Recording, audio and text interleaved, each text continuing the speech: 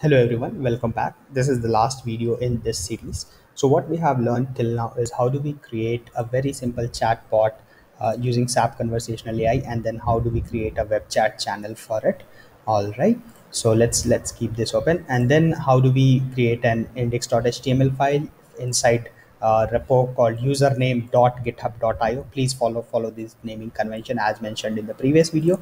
Then you need to have an index.html file where where your uh, script tag and meta tag that is suggested by your uh, SAP conversational AI is being placed. Okay, so once that done, you have done uh, almost all work. After that, you need to do a couple of things just to make sure that everything is done properly you see, you'll see here a settings tag in the GitHub, page right here. Be, besides insight, you'll see a settings uh, tab here. Go ahead and click on that.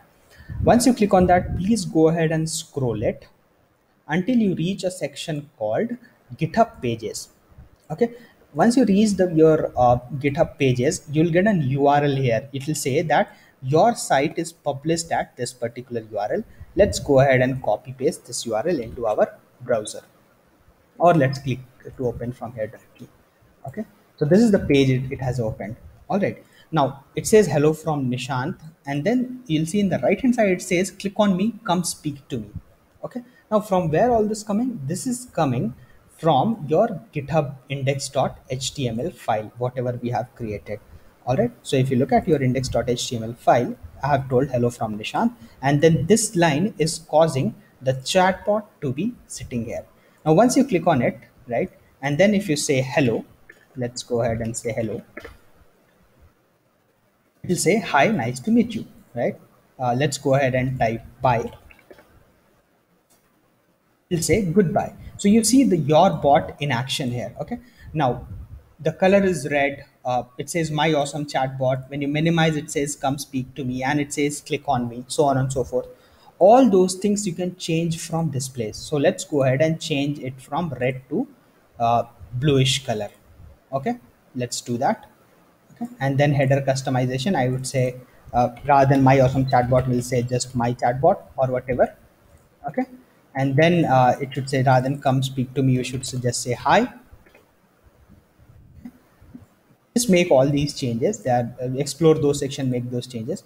Click on close give it a couple of seconds okay? And then when you click on uh, refresh it might take a couple of seconds to uh, get reflected. Let me clear cache and reload. Uh, yeah so it, it might take just a couple of minutes to get these things uh, uh, reflected actually okay? So yeah so just just wait for a couple of minutes and all those changes ideally uh, should be reflected here. It is taking slightly longer all right those changes should be ideally reflected. So whatever color and all that you change here right in your web chat uh, uh, in your web chat channel those things should be actually uh, okay it did not change. Why? Okay give me one second. I'll, I'll make those changes again. Ah okay i need to click on save changes. Sorry. And then click uh, click on close. And then after a couple of seconds yeah it should change. Yeah. So now now the color has changed to uh, blue essentially. Okay so i forgot to do save changes. That's my bad guys. Okay and then you can change uh, here to just hi and then again go ahead and click on save changes. And click on close. Go ahead and refresh your page. So now it says hi rather than come speak to me. And the color has been changed to blue.